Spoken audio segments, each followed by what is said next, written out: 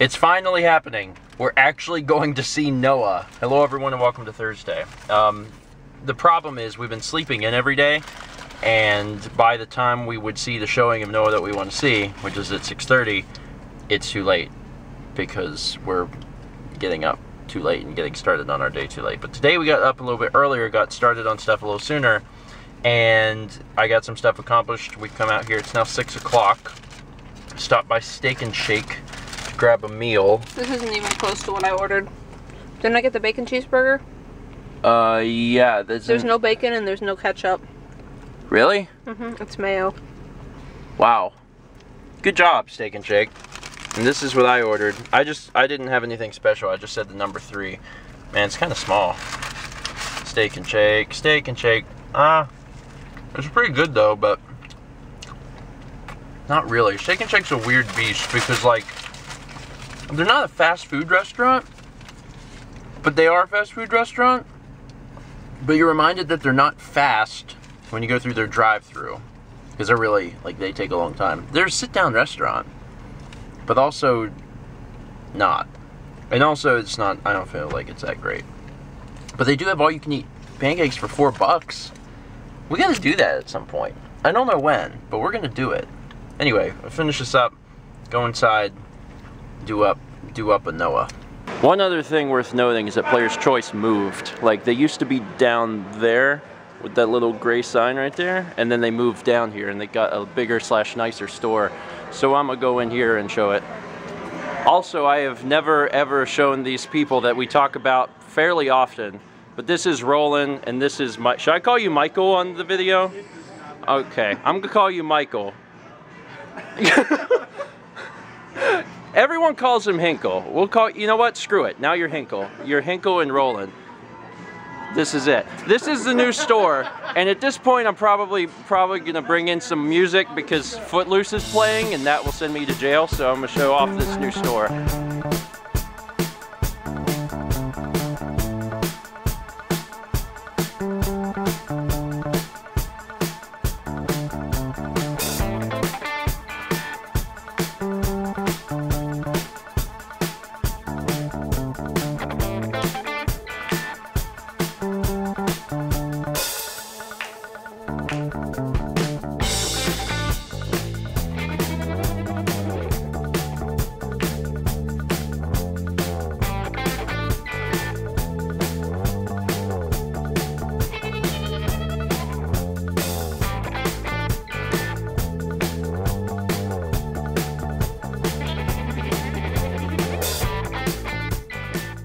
Noah is a film that is playing that we saw.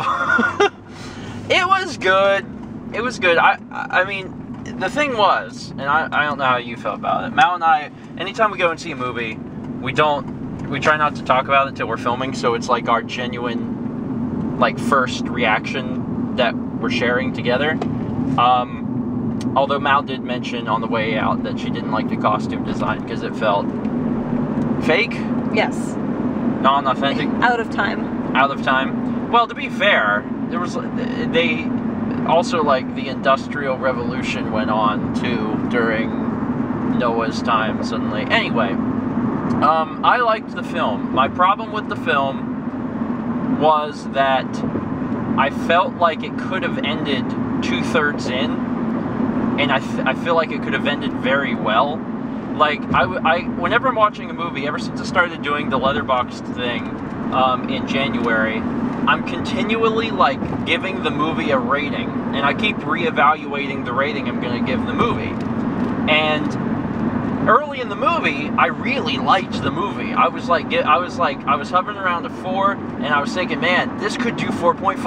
I really like this film. There was some, you know, I, I think a big issue for me and probably a lot of other watchers is that if you grew up um, in a you know a religious town or a religious household or you heard these stories often you become very married to the ideas of them. And i think it's one of the problems that, that noah has is that you become so married to this story and how you understand the story that if other elements are introduced you have a, you start to be like wait no but then if you can watch it and accept it as a story and as a derivative, as an alternative version of, you know, the biblical story, it's a lot more entertaining. The people that are getting upset over this movie are the ones that are having a hard time accepting it as a story. If you can accept it as a story, you'll have fun. Anyway, but for the first two thirds of the movie, I was hovering like around a 4.0 or 4.5, and I was like, I really like this film. Then when they finally got onto the ark,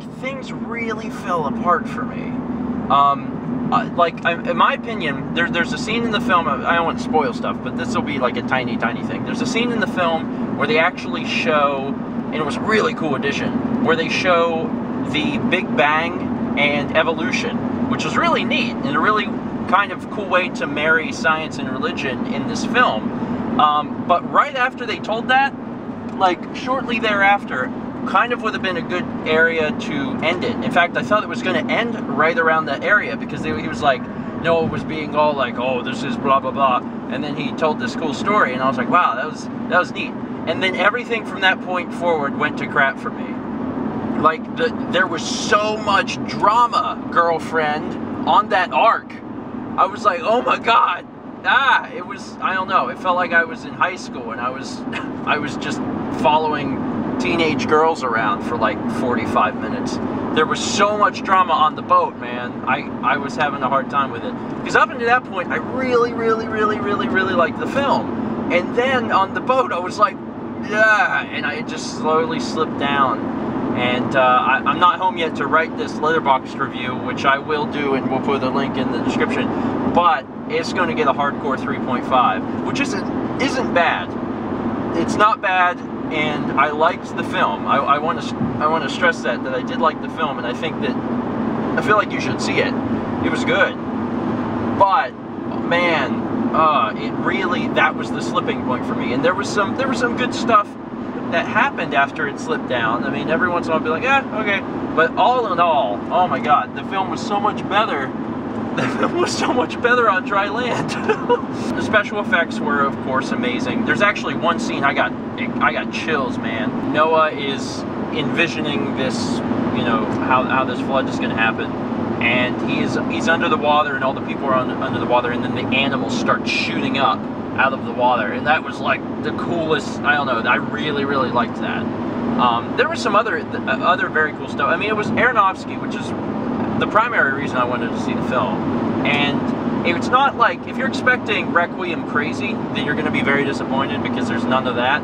But there, I don't know, it kind of pokes through every once in a while. You can tell. It does. Like, there's, there's moments where you're like, ah, we almost forgot who was making this film. But, I mean, overall, don't expect anything nuts. Um, but it was good. It, was it the strongest work? No. But was it was it worth seeing? I think so. Yeah. Um, I just I don't know.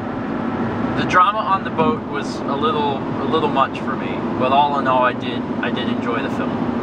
So yeah, this has been another film review in the dark because we always see movies at night and then we talk about them when we get into the car and it's always really dark and I apologize for that.